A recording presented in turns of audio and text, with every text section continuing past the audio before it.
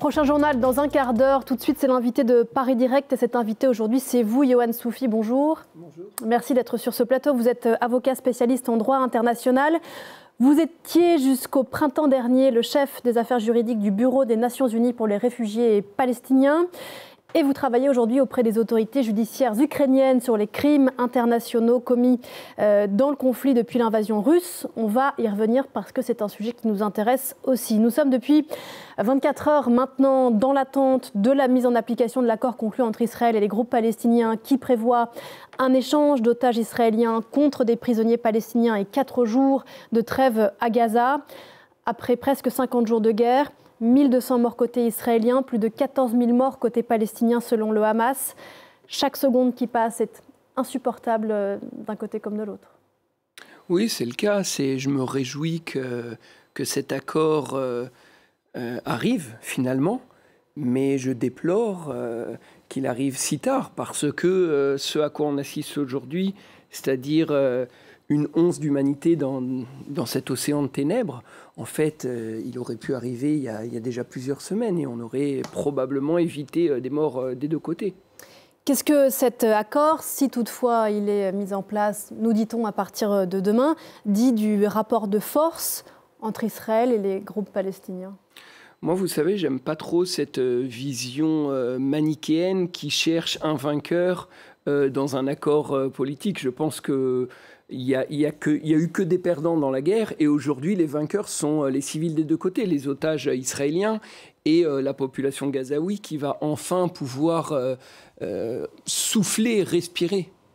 On parle de respirer, de souffler, on ne parle que d'un accord partiel qui ne viserait à libérer que 50 otages sur les 240 que retiennent les groupes palestiniens. On parle aussi d'une trêve que temporaire de 4 jours peut-être euh, des jours supplémentaires. Euh, l'armée israélienne a, rappelé que la guerre ne s'arrêtait pas. Il faut craindre que les combats reprennent en intensité juste après cette trêve, si encore une fois elle a lieu.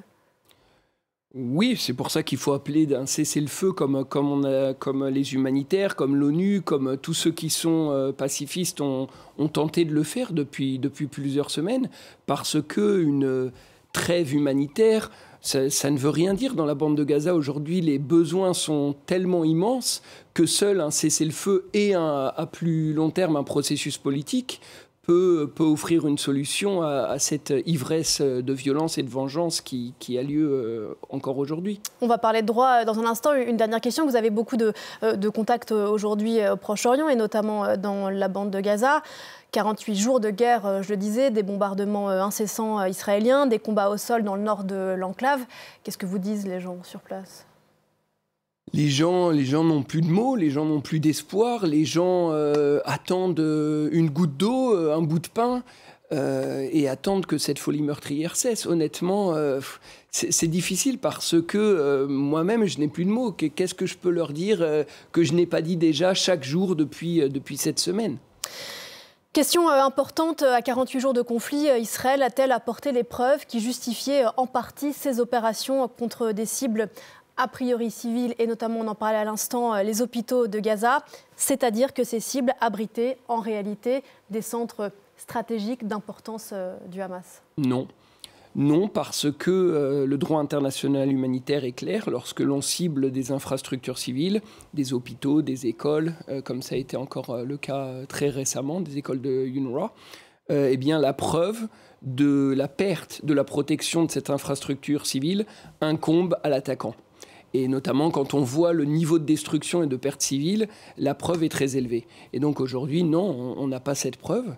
Euh, L'armée israélienne diffuse des images euh, des tunnels euh, qui abriteraient, selon elle, et selon les images, on, les voyait à l'instant tournées par nos confrères de l'AFP, mais contrôlées par l'armée israélienne présentés comme des arsenals, notamment dans les, dans les, dans les tunnels. Oui, mais moi, c'est la raison pour laquelle j'appelle à la fois à l'accès des journalistes internationaux pour, pour aller vérifier sur place. Qui se fait dans des conditions très contrôlé, mais ce qui se fait depuis. Oui, c'est pour ça. Moi, j'appelle pas à, ce qu'on appelle des journalistes embedded euh, avec, une, avec un contrôle des images. J'appelle à une vraie, euh, un vrai accès aux journalistes, à condition qu'ils ne soient pas ciblés. Et dans un deuxième temps, à l'accès des enquêteurs internationaux. Et, et, c'est là où on fera notre travail aussi d'enquêteur et où on déterminera au cas par cas euh, ce qui constitue un crime de guerre et de ce qui constituait, au regard du droit international, une attaque dans, dans la légalité du DIH. Sur les modalités de l'accord, je voudrais qu'on y revienne un instant. On rappelle que détenir des otages, vous me corrigez si je me trompe, est un crime de guerre selon le droit international. Il n'y a pas de débat. Aucun débat. Je voudrais qu'on s'arrête sur le cas des prisonniers palestiniens détenus euh, en Israël et libérables pour certains en vertu euh, de l'accord conclu entre Israël et les groupes palestiniens. On parle de femmes, on parle de mineurs dont certains ont 14 ans. Est-ce que leur détention, de ce que vous en savez, se font aujourd'hui dans le respect de la règle de droit? Alors deux choses. D'abord, indéniable que la prise d'otages civils constitue un crime de guerre. Par contre, ça ne donne pas le droit euh, à Israël de prendre en otage une population entière comme elle l'a fait dans la bande de Gaza depuis cette semaine en les privant d'eau, de nourriture, d'électricité. Maintenant, sur la question des détenus palestiniens, c'est une appréciation au cas par cas. Et là, c'est plutôt les droits de l'homme qui s'appliquent plutôt que le droit international humanitaire. Mais il est certain que les règles, notamment euh, de ce qu'on appelle la détention administrative, qui se fait en dehors euh, des tribunaux communs dans le cadre du droit militaire où les avocats n'ont pas accès au dossier, etc. Ce qui est le cas pour certains des détenus. Ce qui est le cas pour certains des détenus. Là, c'est une violation claire des droits de l'homme. Et il faut aussi euh, penser que dans l'imaginaire collectif euh, palestinien, certains de ces gens-là sont aussi des otages. Et là, on parle notamment de la libération d'enfants, par exemple. Euh, c'est là où, où c'est extrêmement, extrêmement problématique. Autre question de droit importante, la question de l'exode. On va débattre peut-être de l'appellation des 1 700 000 Gazaouis, dont on rappelle qu'ils correspondent à plus de la moitié de la population totale de l'enclave palestinienne, qui ont dû quitter le nord de l'enclave pilonné par l'armée israélienne depuis euh, cette semaine, puis euh, théâtre de combat au sol désormais entre les soldats de l'armée euh, et les groupes palestiniens, l'enclave restant, on le rappelle, fermée, hermétique. Comment est-ce qu'on qualifie en droit aujourd'hui cet exode? Oui, ce n'est pas un exode, c'est un transfert forcé lorsqu'on reste dans les mêmes frontières, et on parle même aujourd'hui de déportation. à partir du moment où il y a des appels euh, de certains responsables israéliens à chasser une population d'un territoire, comme ça a été encore le cas récemment, y compris dans le Jerusalem euh, Post, euh, eh bien là, on pourrait parler de déportation qui constitue un crime de guerre. Et le transfert forcé, qui est en gros la définition, c'est de pousser une population par la force et la violence à se déplacer au sein d'un même territoire, ça constitue également un crime de guerre. Israël se défend, disant qu'elle a inviter euh, ces populations civiles à se déplacer vers le sud de l'enclave euh, pour minimiser, euh, je cite les propos israéliens, minimiser les pertes civiles. Est-ce que c'est entendable?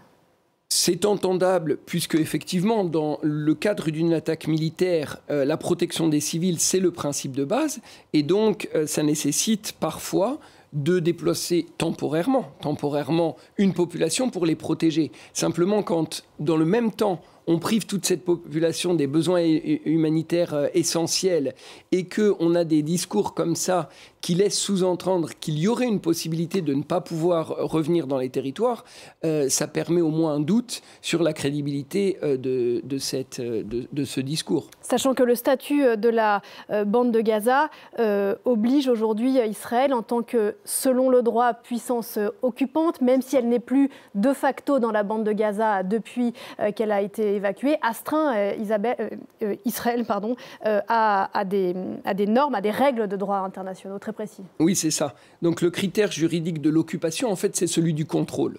C'est-à-dire qu'on considère qu'un territoire est toujours occupé à partir du moment où un État maintient le contrôle, ce qui est le cas pour la bande de Gaza. Depuis 16 ans, Israël contrôlait à la fois l'accès maritime, terrestre, aérien, il n'y avait pas d'aéroport, mais également tous les biens et les personnes qui rentraient dans la bande de Gaza. Donc euh, aujourd'hui, il n'y a aucun doute, en tout cas pour les Nations Unies, et c'est la position de la majorité des juristes, que la bande de Gaza, depuis déjà euh, le blocus, étaient sous occupation israélienne, et ce qui implique effectivement, comme vous l'avez dit, une obligation pour Israël d'assurer les besoins humanitaires, de santé et en gros la gestion publique de, de cet espace. C'est à quoi elle ne répond pas aujourd'hui?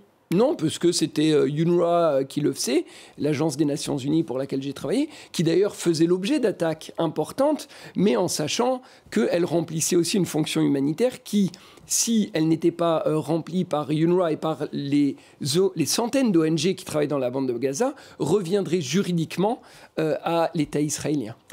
Quel retour possible pour ces Gazaouis qui ont été déplacés vers le sud, sachant l'état de destruction du nord de Gaza aujourd'hui? D'abord un retour obligatoire puisque euh, c'est euh, leur droit, mais aujourd'hui quand on voit, euh, je vois les images, quand on voit le niveau de, destruction, l'absence totale de, villes dans Gaza, bien il faudra des moyens extraordinaires de la communauté internationale. Il faudra aussi qu'Israël s'assure euh, du retour euh, de, ces Palestiniens dans leur, maison. Mais, ça prendra du temps et c'est pour ça qu'un cessez-le-feu est, impératif dès maintenant. Les responsables des deux camps devront un jour répondre dans leurs euh, actes, ce que vous dites souvent. Est-ce qu'il est réaliste d'imaginer, par exemple, un jour des responsables du Hamas devant une cour locale, nationale, internationale, pour être jugés pour les massacres du 7 octobre? Oui, à mon avis, les responsables du Hamas, euh, Israël euh, s'en chargera de, les juger pour ceux qui seront encore vivants. Donc euh, ça, à mon avis, j'ai aucun doute sur le fait qu'il y aura une justice pour les responsables des crimes du 7 octobre. Mais la justice exige qu'il y ait une responsabilité aussi de ceux qui commettent des crimes internationaux de l'autre côté. Et là, j'ai plus de doutes sur la capacité euh, des autorités judiciaires israéliennes à le conduire de manière euh, impartiale et, totale. Et c'est pour ça que j'ai plus d'espoir dans la justice pénale internationale. Sauf que dans une tribune au Monde, fin septembre dernier, vous vous désoliez que la Cour pénale internationale aille, disiez-vous, aussi vite face aux crimes de guerre présumés commis par la Russie en Ukraine, quand elle est inopérante euh, au Proche-Orient. Euh, que dit ce que vous appelez cette sélectivité de la politique pénale internationale aujourd'hui? Oui, bon, d'abord rappeler que le procureur a une discrétion dans le choix des affaires et que malheureusement, euh, on est dans un monde où les crimes internationaux sont légion. Et donc, on avait la Palestine, l'Ukraine, qui doit aussi être une priorité. Aujourd'hui, le Soudan et France 24, c'est bien la misère qui, qui afflige le monde. Euh, la tribune, elle datait effectivement d'avant le 7 octobre.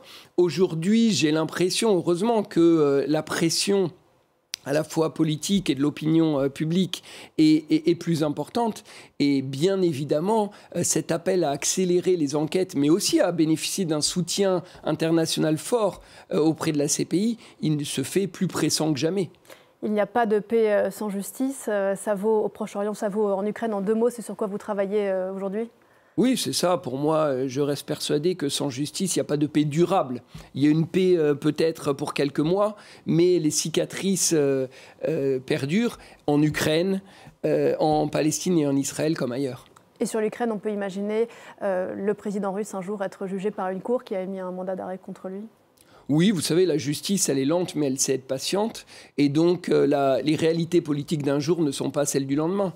Euh, Al-Bashir, on ne pensait pas qu'un jour il pourrait être euh, démis. J'ai été dans un procès avec Charles Taylor à mes côtés pour les mêmes raisons. Donc, moi, je reste profondément optimiste. Et on peut penser aussi au président Assad qui est poursuivi depuis quelques jours par la justice également. Merci beaucoup. C'est moi qui Yoann Soufi d'être venu pardon, ce matin sur le plateau euh, de Paris Direct, avocat spécialiste en droit international. Et vous travaillez aujourd'hui, on le disait, auprès des autorités ukrainiennes euh, autorités judiciaires ukrainiennes sur les crimes euh, présumés de guerre commis par la Russie en Ukraine. Merci encore. On se retrouve juste après la pause pour la suite de Paris Direct avec Pauline Godard. À tout de suite.